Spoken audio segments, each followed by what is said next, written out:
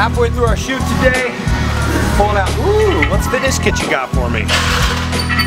Uh, see if I can open this. There we go. Looks like some chicken, maybe a three quarter uh, brown rice, and some perfectly cooked broccoli. And then uh, for the photographer, we gotta feed him too. Fitness Kitchen was nice enough to add in another meal. Yay! You're gonna eat good today, buddy. Little South Seas Skincare. These guys are great. It's the tan I'm wearing today. So, two of my uh, major sponsors, guys that I work with, that take care of me and are part of my equation for success. So, Google SouthSeasSkincare.com, of course, FitnessKitchen.com and see what it's all about. You'll see what I'm using and maybe you might choose to use it in your equation for success too.